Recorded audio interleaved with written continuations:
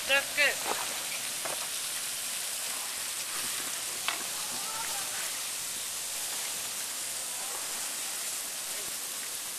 W końcu Siewier jest bożyszczą nastolatek.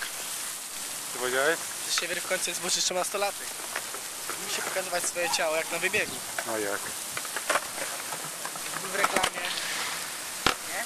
Kodraczka sekwa. Dobra, ruszamy.